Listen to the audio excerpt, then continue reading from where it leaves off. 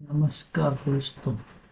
चलिए मैं आज और एक सीटिंग अरेंजमेंट का सम लेकर आया हूँ। ये सम भी बहुत डिफ़िकल्ट लगने वाला है।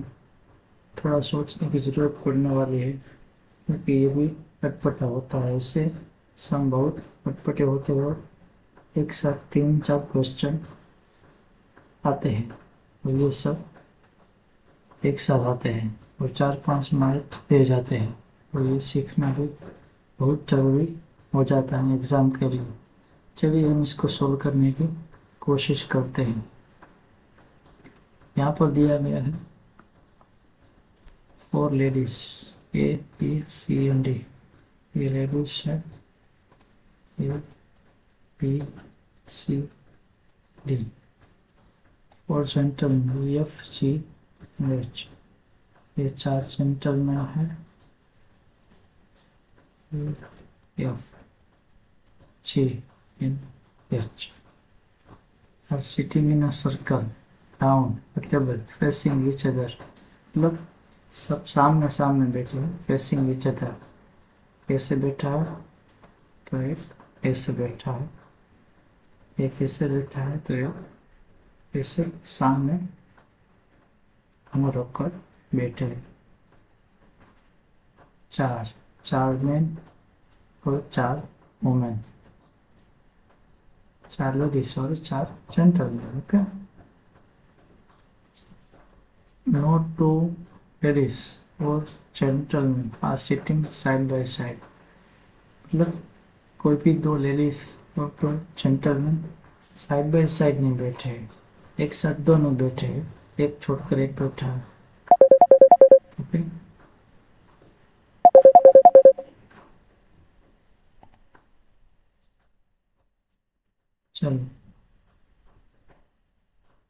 दिया क्या है सी वो is sitting between G and E spacingly C है वो. जी एंड ई के बीच में बैठा है।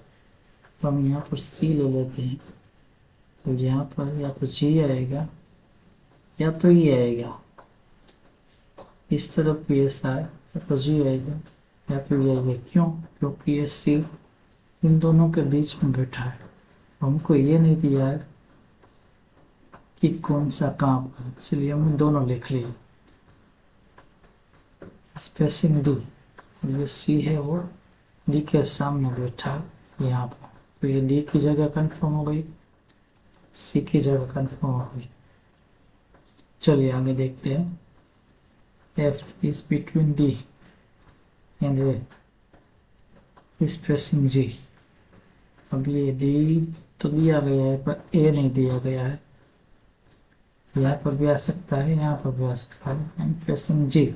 जी का भी कोई कंफर्म नहीं है। चलिए आगे देखते हैं।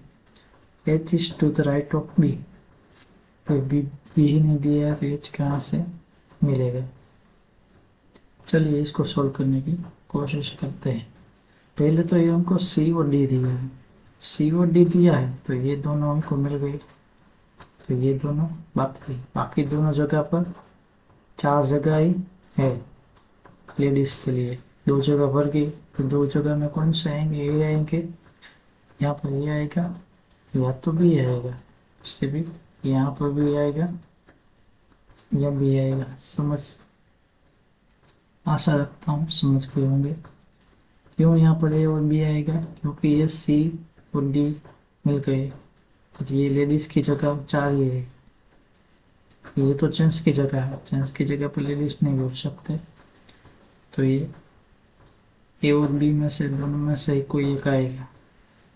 चलिए, आगे बढ़ते हैं। तो इसमें एक दिया गया है। फिर से एक बार देख लेते हैं। सी वो सिटिंग सी तो मिल गया। F is between D and A अब डी एंड ए तो आ गया, यहाँ पर भी ए है, यहाँ पर भी है। इस फेसिंग जी और ये फेसिंग जी भी है, यहाँ पर भी है। चलिए दूसरा देखते H is to the right of B H है, वो राइट ऑफ़ बी है। तो ये बी यहाँ पर हम बेस कर लेते हैं। पहले यहाँ से स्टार्ट करते हैं।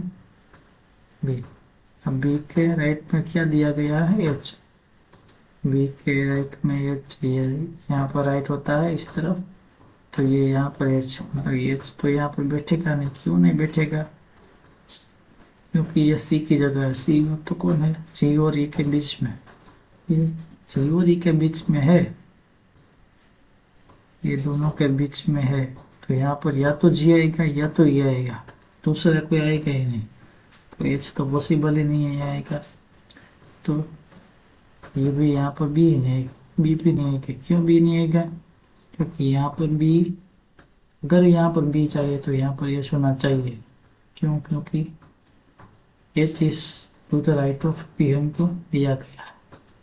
हमको राइट ऑफ़ पी दिया गया है तो यहाँ पर भी हम ले लेते हैं। तो ये यहाँ पर राइट में एच लिख देते हैं। क्योंकि दो ही है तो ये यहाँ पर आएगा, या तो यहाँ पर आएगा। या बी यहाँ पर आएगा, यहाँ पर आएगा। अगर ये यहाँ पर मिल गया तो ये यहाँ पर नहीं आएगा। तो ये हमको बी मिल गया बी के राइट में एच भी मिल गया। ये हमने सोल्व कर लिया, ये हमने पहले सोल्व कर लिया था, अब ये सोल्व करना होगा F is between D and A D A मिल गया तो एफ़ यहाँ पर मिल सकता है हमको। D N N is facing G yes F है वो जी को फेस करा है। मतलब एफ़ के सामने जी आएगा तो यहाँ पर जी मिल जाएगा तो ये ये ये निकालना पड़ेगा।